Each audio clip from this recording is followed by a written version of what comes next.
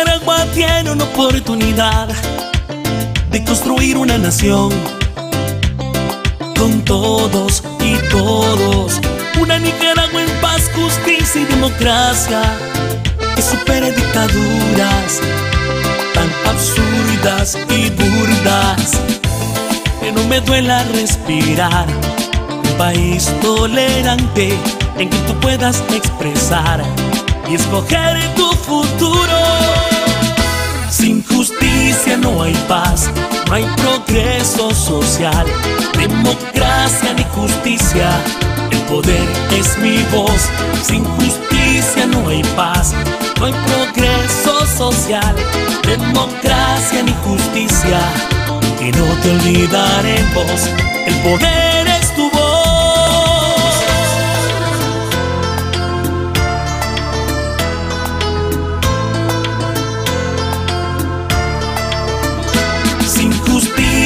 no hay paz, no hay progreso social, democracia ni justicia. El poder es mi voz, sin justicia no hay paz, no hay progreso social, democracia ni justicia. Que no te olvidaremos, el poder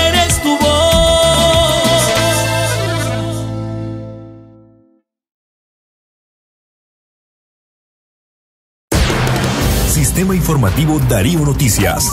Vamos a continuar con la información porque la Darío Noticias, la manera más eficiente de informarte. 893, calidad que se escucha. Darío Noticias. Hola, ¿qué tal amigas y amigos? ¿Cómo están? Les saluda Francisco Torres Tapia. Sean todas y todos bienvenidos a Noticias en la Mañana a través de la plataforma en Facebook Radio Darío de inmediato iniciamos con las informaciones. El líder del Frente Sandinista, Daniel Ortega, ha amenazado con guerra de ser necesario para evitar que su destino sea similar al del expresidente de Bolivia, Evo Morales, que renunció a la presidencia ante la presión de manifestaciones masivas y el rol de la policía y el ejército apegado a la constitución. que se fíjen bien lo que están haciendo los imperialistas de la tierra aquí en Bolivia. Se fíen bien. Y la señal que le están dando a América Latina. Porque hemos apostado, hemos apostado a la vía electoral. Hemos apostado a la vía electoral. Pero creo que lo de Bolivia es una prueba de fuego para que se pueda sostener la mínima confianza en la vía electoral.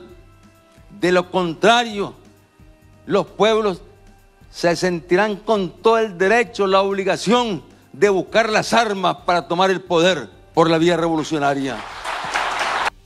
Por su parte, Rosario Murillo también ha aprovechado las cámaras para enviar una nueva amenaza a la oposición nicaragüense. Miserables, les ha llamado Murillo y ha amenazado a sus antagonistas de no atreverse a jugar con la paz que pregona ella junto al Frente Sandinista.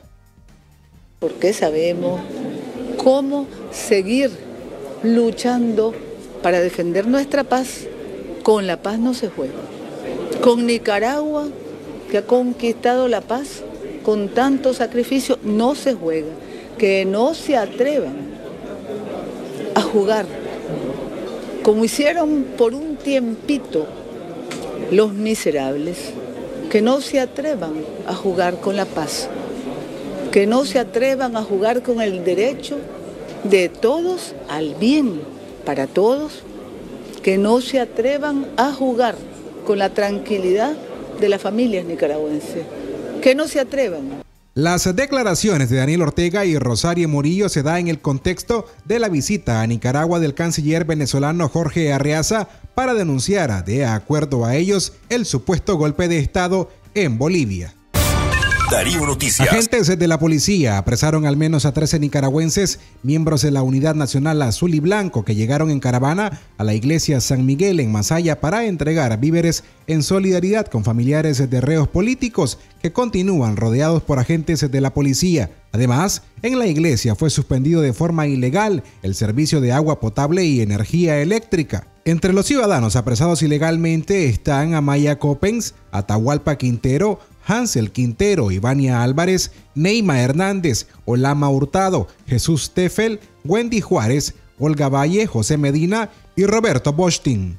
Tras la detención a los miembros de la UNAP, fueron trasladados a las instalaciones del nuevo Chipote en Managua. Por su parte, los familiares de reos políticos que iniciaron huelga de hambre en la iglesia San Miguel de Masaya continúan encerrados junto al padre Edwin Román, sin servicio de agua y energía eléctrica. Así, enviaron un mensaje de solidaridad a los detenidos. Estamos aquí dentro de las instalaciones de la iglesia San Miguel solidarizándonos con todas las personas que el día de ayer vinieron eh, a dejar agua.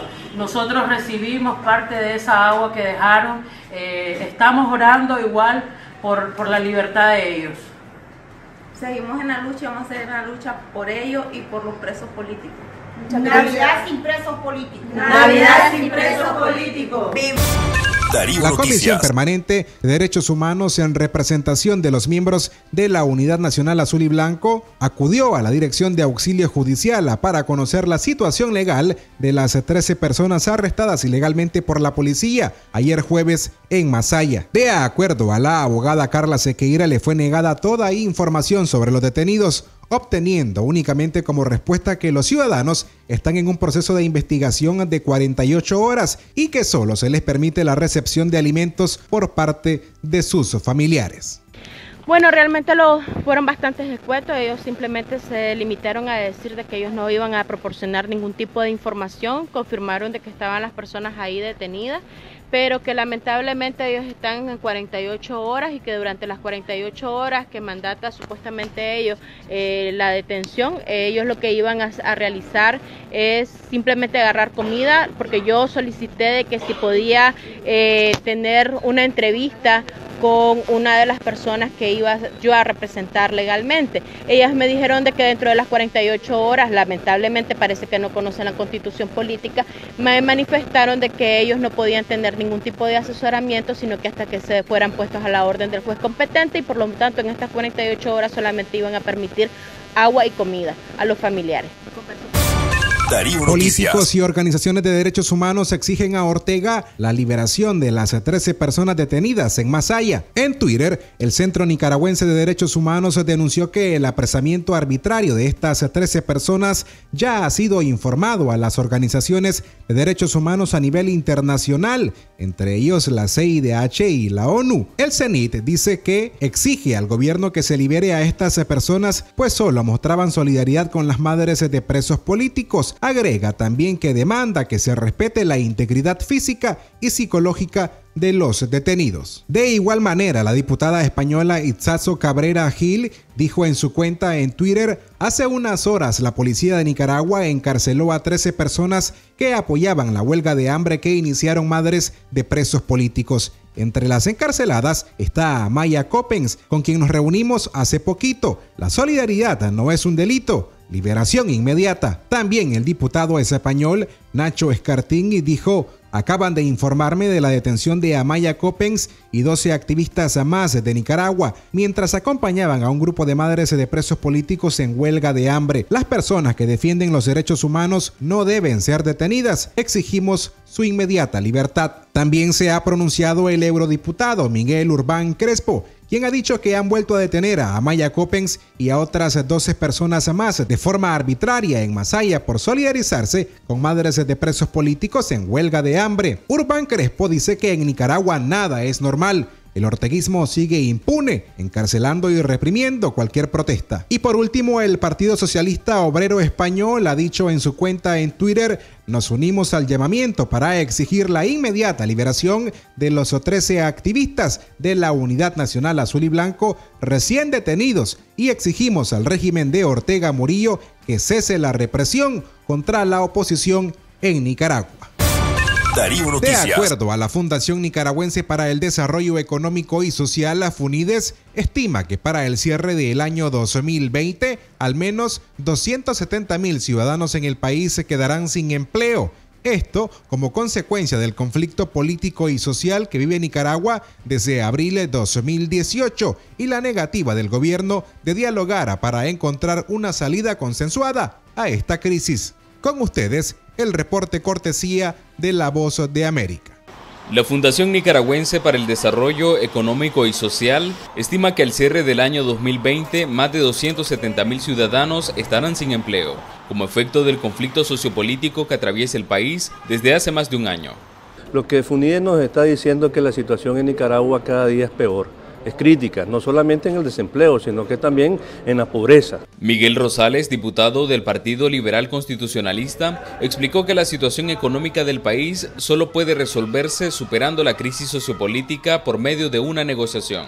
Mientras no resolvamos la crisis política, nadie, ni los inversionistas, ni los consumidores, ni los productores, ni los ciudadanos van a tener la confianza en la producción, en economía, en la seguridad de nuestro país y por lo tanto no vamos a poder ser un lugar donde podamos prosperar. Sin embargo, el gobierno sostiene que la oposición es la responsable del deterioro económico y de la pérdida de cientos de miles de empleos. Ellos son los culpables de más de 156 mil personas que en el 2018 al 2019 cayeron en el desempleo. Ahí sí cuidado empiezo a creerles, porque ellos sí son expertos en el desempleo.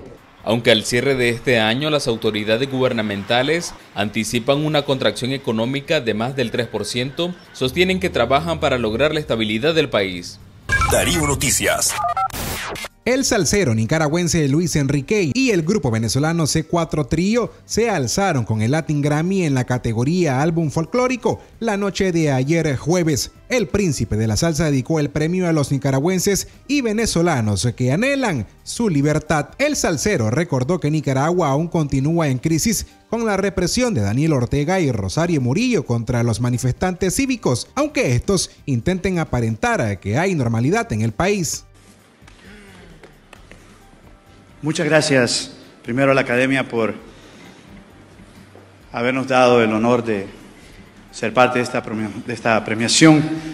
Quiero dedicar con mucho amor este premio a mi país, que sigue luchando por su libertad, que sigue luchando por su soberanía, a todas las madres de los estudiantes que han sido cruelmente asesinados desde abril del año pasado Nicaragua sigue estando en guerra, aunque lo quieran hacer ver de otra manera.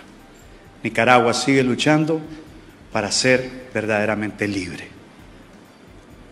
Quiero también dedicar este premio junto a mis hermanos de C4 Trío a todas las familias venezolanas que se han, se han visto urgidas en salir de su país a todos los caminantes, a quien dedicamos también nuestro video de añoranza, decirles que estamos con ellos, que no están solos, por la libertad también de Venezuela y por la paz de nuestros países.